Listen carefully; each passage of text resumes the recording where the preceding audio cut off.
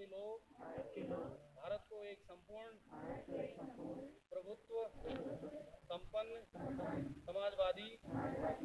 पथ निरपेक्ष लोकतंत्रात्मक गणराज्य बनाने के लिए तथा उसके समस्त नागरिकों को सामाजिक, आर्थिक और राजनीतिक न्याय, विचार, अभिव्यक्ति विश्वास धर्म और उपासना की स्वतंत्रता प्रतिष्ठा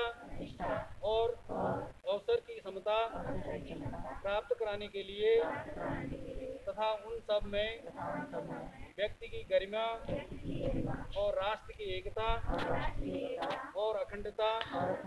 सुनिश्चित करने वाली बंधुता बढ़ाने के लिए दृढ़ संकल्पित होकर अपनी इस संविधान सभा में आज तारीख 26 नवंबर उन्नीस सौ उनचास को एतद द्वारा इस संविधान को अंगीकृत, अधिनियमित और आत्माकृत करते हैं। जय हिंद।